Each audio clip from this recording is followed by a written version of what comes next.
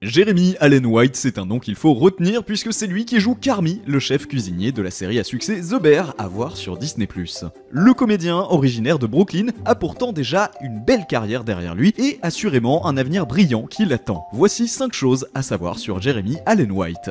Des années avant de devenir le comédien que l'on connaît, son destin aurait pu être bien différent. Alors à l'école élémentaire, ce qui l'intéressait, c'était la danse. Il dansait du ballet ou encore du jazz. Le fait d'être le seul garçon de cette classe pendant des années a aussi, selon lui, joué un grand rôle quant à son intérêt pour la danse. Par la suite, c'est carrément l'American School Ballet qui est venu dans son école et a montré son intérêt pour lui. Ce qui en vrai n'est pas rien puisque c'est l'école officielle du ballet de la ville de New York. Et à l'époque, le jeune Jérémy, comme beaucoup d'autres jeunes de son âge, il est en quête d'attention et donc va hésiter pour continuer dans cette voie. Seulement à ce moment-là, il se découvre une nouvelle passion, celle de devenir comédien. Un choix qui fut le bon. Dès 2006, alors qu'il a seulement 15 ans, il joue dans son premier long métrage, Beautiful Ohio. Par la suite, Jérémy continue avec plusieurs apparitions dans des séries comme New York Police Judiciaire ou dans des films comme 12, réalisé par Joel Schumacher, à qui l'on doit Batman Forever ou encore Phone Game. Mais son premier grand rôle, il l'a en 2011 dans une série. Lip, malin comme un singe.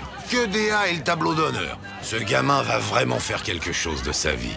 Shameless est le remake d'une série anglaise du même nom dans laquelle Jeremy va jouer Philip Gallagher. Le show suit la famille Gallagher, une famille à problème avec un père alcoolique et irresponsable et une mère qui a abandonné leurs six enfants. Et donc au milieu de cette fratrie, Philippe, le surdoué qui tente de s'en sortir comme il peut. La série a duré jusqu'en 2021 avec 11 saisons, une longévité assez exceptionnelle pour une série. Et justement, Jeremy s'est exprimé à la fin de la série sur le fait d'avoir joué un même personnage pendant si longtemps. Car forcément, ça peut être assez pesant à la longue. Et après 134 épisodes, le comédien commençait à être un peu perdu. Il a déclaré qu'il ne pensait pas que les séries devaient durer aussi longtemps. À force, il avait l'impression de ne même plus être un acteur. Il se questionnait même pour savoir s'il avait un avenir en dehors de la série. Au global, il a rassuré tout le monde en disant qu'il adorait la série et que l'expérience d'avoir travaillé dessus était incroyable. Une série qu'il aimait vraiment et qu'il devait d'ailleurs regarder illégalement, n'ayant pas le câble chez lui. Et même s'il était plein de doutes pour la suite de sa carrière, on le sait, tout s'est bien passé. Dès 2022, seulement quelques mois après la fin de Shameless, il obtient le rôle de Carmi pour la série The Bear.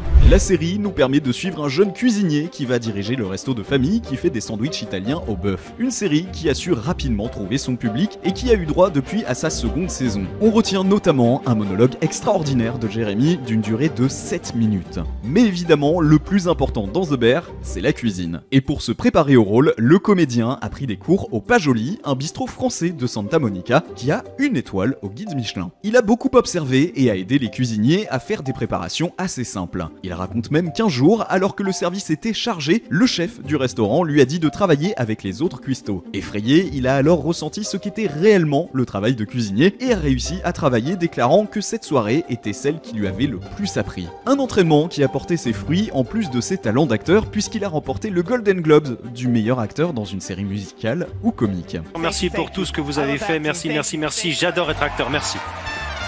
Et les entraînements pour des rôles, Jeremy commence à s'y faire, puisque pour son prochain film The Iron Claw, dans lequel il va jouer un catcheur aux côtés de Zac Efron, il a dû prendre plus de 18 kilos de muscles. Un comédien qui se donne pour ses rôles.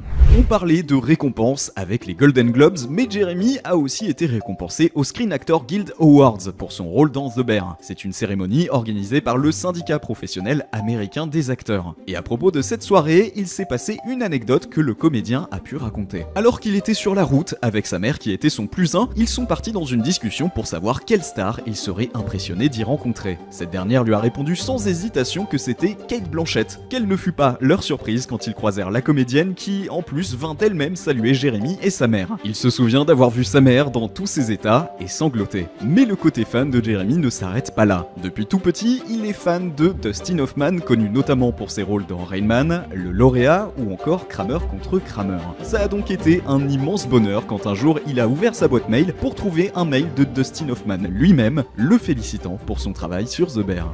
On le sait, Jeremy Allen White a plusieurs tatouages, notamment un triangle sur le torse à propos duquel les fans de Shameless se sont longtemps posé des questions pour en connaître la signification. La réponse a été donnée par Jeremy lui-même en interview qui a déclaré qu'il n'y avait pas de signification en rapport avec son personnage dans la série et que c'était un vieux tatouage en lien avec ses amis que les maquilleurs ne pouvaient pas masquer et qu'il a donc partagé avec son personnage personnage Lip. Mais les tatouages sont un vrai sujet pour lui malgré tout. En 2020, il a joué dans le film The Rental, réalisé par Dave Franco, et pour son rôle, Jeremy a alors voulu proposer que son personnage ait plusieurs tatouages. Il a voulu concevoir ses propres tatouages avec l'aide d'un ami tatoueur. Il est donc revenu vers Dave Franco avec plein d'idées en rapport avec son personnage. Malheureusement, Franco a rejeté toutes ces idées en disant que c'était un peu trop, ce qui a empêché Jeremy d'avoir un kangourou avec des gants de boxe par exemple en guise de tatouage sur ce film. Et cette implication sur les tatouages et son personnage a continué mais avec plus de succès pour la série The Bear. Il a à nouveau travaillé les tatouages de Carmi avec son ami et le résultat se trouve sur ses bras et donc à voir dans la série à retrouver sur Disney+. Merci d'avoir regardé et à très vite pour de nouvelles vidéos sur Allociné.